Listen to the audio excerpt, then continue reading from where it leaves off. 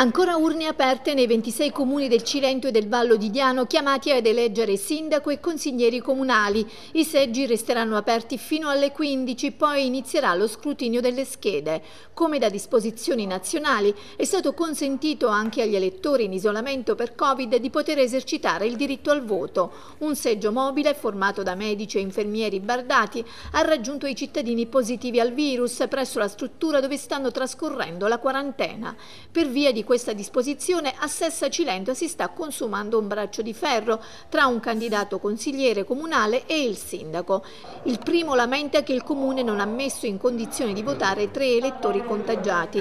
Il primo cittadino uscente respinge al mittente ogni accusa, spiegando che le tre persone interessate non hanno presentato entro i termini stabiliti la dichiarazione che attestasse la volontà di votare.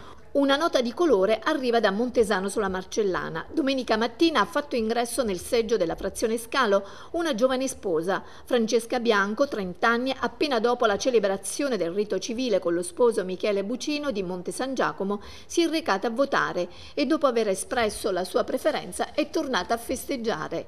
Tra i comuni impegnati in questa tornata elettorale, Vibonati, Santa Marina, Tortorella, Pollica, Castellabate, Ceraso, San Mauro, Labruca, Perdifumo, Teggiano, Montesano sulla Marcellana, Padula e Monte San Giacomo. Tre i candidati al sindaco a Vibonati, Giovanni Scognamiglio, Manuel Borrelli e Vincenzo Cernicchiaro. Tre anche a Santa Marina, Giovanni Fortunato, Vincenzo Castaldo e Paola Tangredi. Due in corsa per la fascia tricolore a Montesano sulla Marcellana, Giuseppe Rinaldi e Rosa Domenica Campiglia e a Padula Michela Cimino e Dario Mario Tepedino.